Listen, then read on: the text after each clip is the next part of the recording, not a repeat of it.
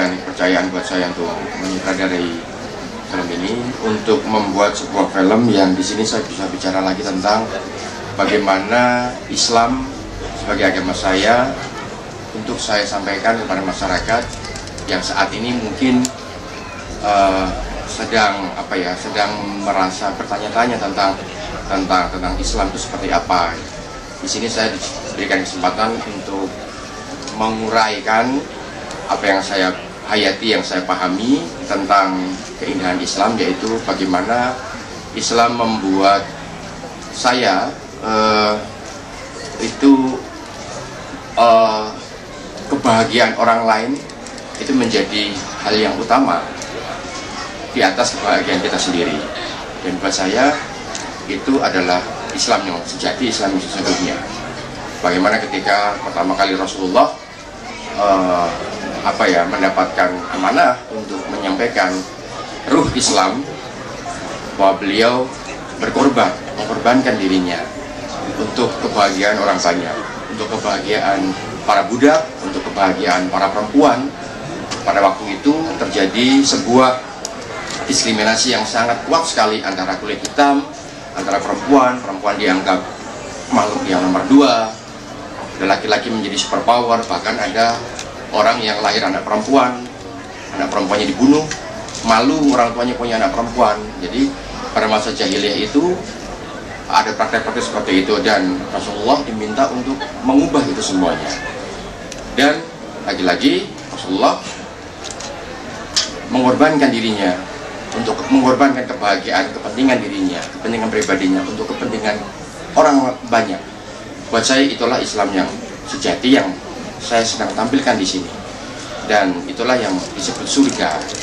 Surga yang kita rindukan bareng-bareng. Sehingga orang bisa melihat bahwa oh untuk mendapatkan surga memang kita harus berkorban untuk bagian orang banyak.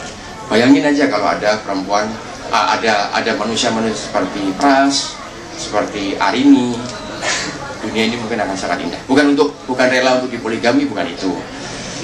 Bukan itu ya uh, tapi bagaimana dia sangat berkorban untuk kebahagiaan suaminya, kebahagiaan Nadia, kebahagiaan orang lain.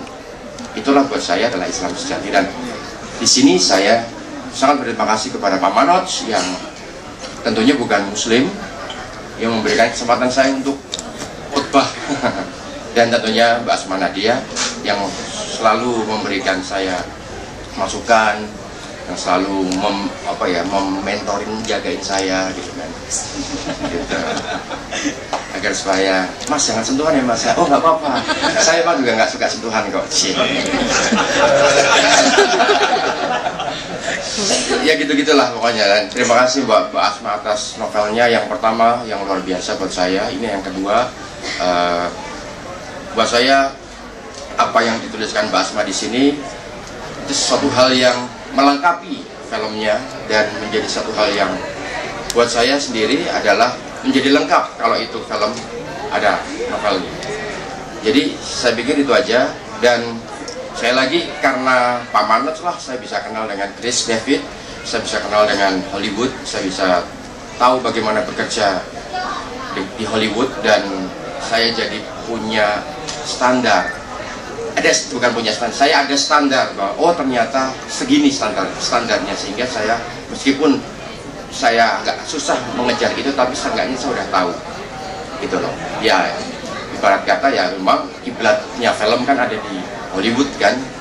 Lahir dan besar film itu sejarah film itu dimulai dari Amerika maka ya saya pengen melihat seperti apa di sana. Dan Pak Manoj lah yang sangat kerja buat saya untuk membawa saya ke sana. Ya itu aja. Terima kasih buat MD Pictures dan keluarga buat Reza lagi-lagi buat Reza yang udah mau membantu saya untuk membuat film ini. Buat Fedi Nuril atas acting yang luar biasa Bella semuanya Mbak Meli Mbak Kris. Mbak Kris Dayanti maaf bukan Mbak Pak Kris Mr. Kris. Mbak Kris ada Pak Kris. Pak Kris. Halim thank you banget Mbak Halim ya. Terima kasih semuanya Mbak Meli semuanya. Saya nggak bisa saya bisa satu saya sangat bersyukur terima kasih. Assalamualaikum warahmatullahi wabarakatuh